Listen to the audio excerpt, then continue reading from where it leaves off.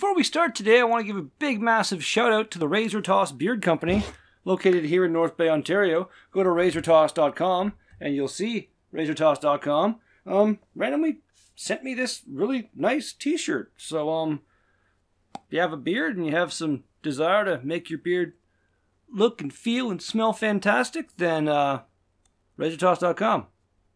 Frickin' do it. Be going down, people of the world. My name is Red Beerd, and this is yet another Daily Drink vlog. Thanks a bunch for joining me. For the beer of the today, we've got a can of the Sociable Pilsner by the Common Good Brewing Company out of Toronto, Ontario, coming in at an ABV that I failed to look at when I grabbed the can. 4.7. Kind of average Pilsner. Um, yeah, this was gifted to me by the awesome people at Common Good Brewing at the Burlington Winter Beer Fest that happened uh, a month ago or so at this point. I can't fully remember what the date was, but uh, I've had a few of their beers up to this point, and they have yet to really disappoint. So, with that in mind, it's been a while since I've had just a kind of easy drinking Pilsner, like IPAs and stouts and all these other crazy things that I tend to gravitate towards. Let's let's have something nice and clean and crisp. Hopefully. I'm not sure, but hopefully. A little bit of head on there. Oh yeah, that is clear. Very, very, very clear. May a little tiny bit of haze going on. Also some chill haze, because, you know, I like my Pilsner's cold. Put a finger of bright white fluffy head. Bready, kind of biscuity, I guess you'd say. Malty. No hint of any kind of hop aromas.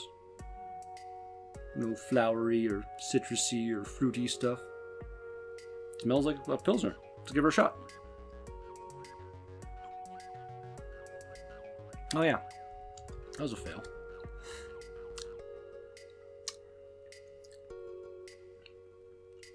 That's quite nice. Got a really nice level of that uh, kind of caramelly malt flavor that I really like. It's not like in your face with it, but that's that's a very nice beer. Let's do this. Cheers, everybody, and so many cheers to the wonderful folks at Razor Toss. Beard's a pretty big fan of you. I mean common good, but also Razor Toss. Oh my god. Cross promo in one video, I know what I'm doing. ah, that's really funny. Um, common good beer. We're bringing it to common good beer, which is, uh, it, yeah, I have to do that and that. Good job, me. There you go. Like I said, they're in Toronto, somewhere in Toronto. I'm not sure where in Toronto, but at some point in my time, I will get down to Toronto and I will visit the brewery. You damn right.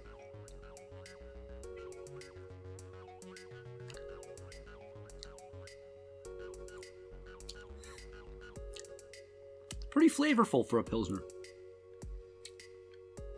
It's not not as bland. It's been a little while since I've had a pilsner, so I was kind of remembering a little bit of blandness, I guess. This, no, it's good. Very nice. Very clean.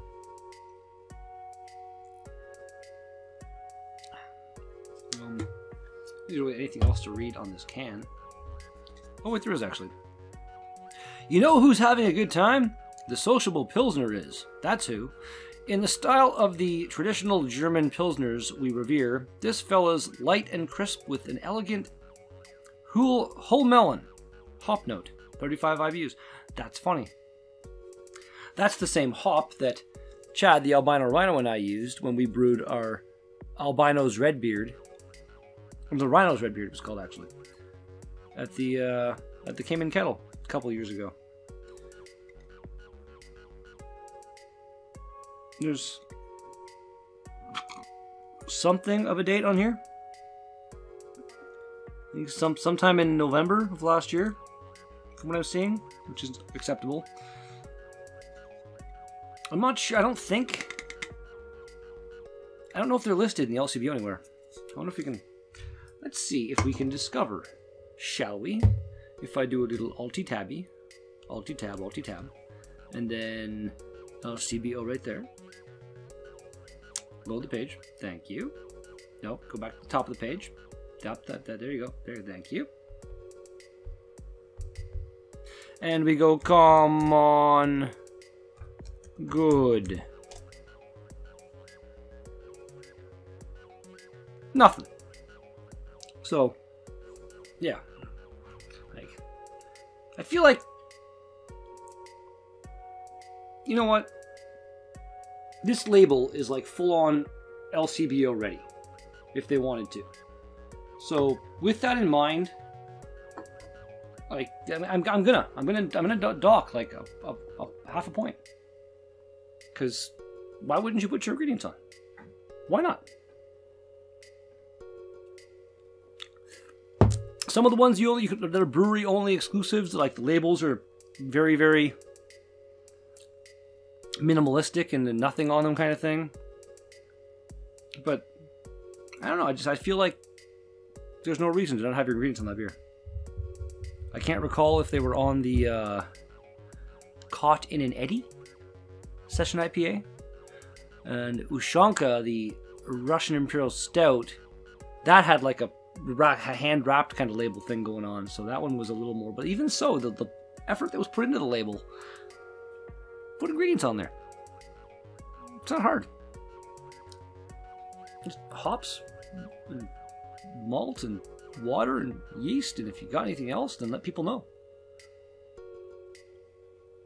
Because if you don't put it, then it makes you think like, is there something else in there? Are you adjuncting up your beers and not telling people? just saying. That's not what I want to do at all. There we go. Yeah, it was seven and a half minutes. Gonna take a break. It's a Pilsner. not bad. Like,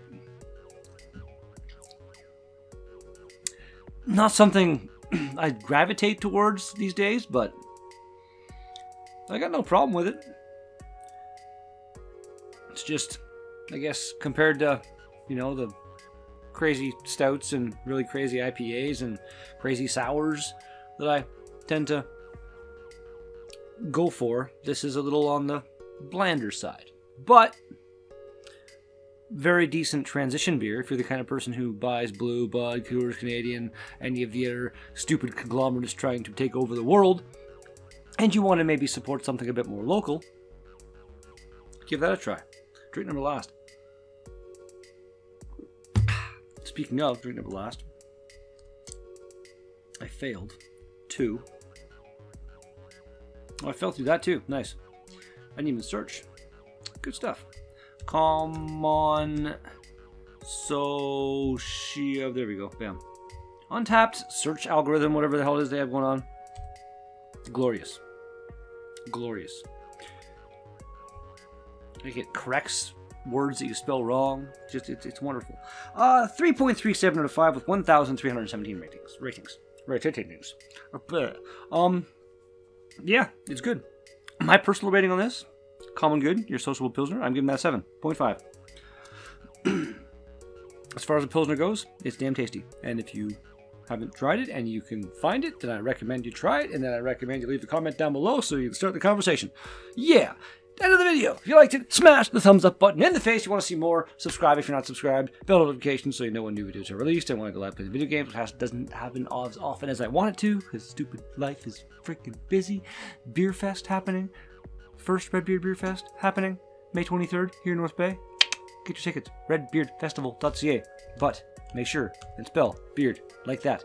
Um, yeah, I'll be back with something like this tomorrow. Peace out.